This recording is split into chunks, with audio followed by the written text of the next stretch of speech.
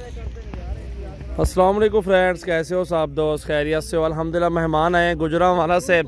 और भाइयों ने ख़रीदे हैं, माशाल्लाह, आज तेरह जानवर और बहुत प्यारी चीज़ें हैं और ख़ूबसूरत क्वालिटी में, अल्हम्दुलिल्लाह। चार भेड़ें, ये प्रेग्नेंट वाली हैं।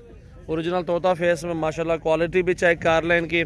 और जितनी भी अच्छी भेड़ चाहिए ना, आप हमारे फार्म पे आ सकते हैं और ख़रीदारी कर सकते हैं।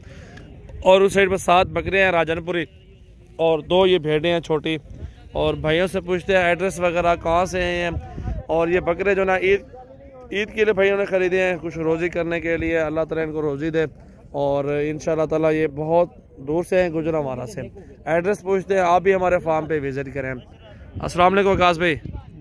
कैसे हैं आप? ठीक हैं? तबीयत ठीक है? वकास भाई कहाँ से आए हुए हैं? जी हम गुजरावाला से। गुजरा वाला कौन सी जगह से आए हैं? गुजरावाला मॉडल टाउन से। मॉडल टाउन से आए हुए हैं।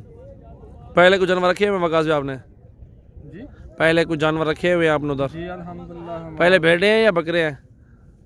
हैं भेड़े हैं पहले भी। और अल्हम्दुलिल्लाह आपको कोई टेंशन वगैरह तो नहीं है? अब आप हमारे फार्म पे फिर रहे इधर आए विज़िट किया है।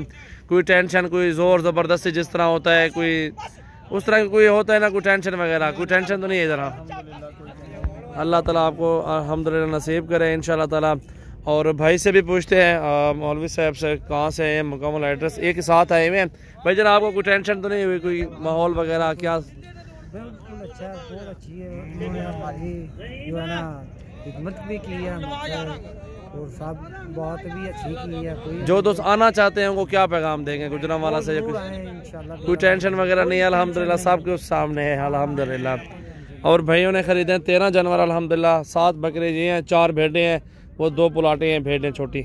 ये देखें जी आपके सामने। बाकी वो पीछे जानवर भी देख के काफ़ी सारे खड़े हुए हैं और लोग भी आए हुए हैं। आप भी आए इन ताला विज़िट करें और वीडियो को लाइक करें और शेयर करें और फॉलो करें सजावल गोड फार्म डेरा गाजी खान। आपके सामने, माशाल्लाह, ये दो भाई खड़े हुए हैं और गुजरा वाला से आए हैं।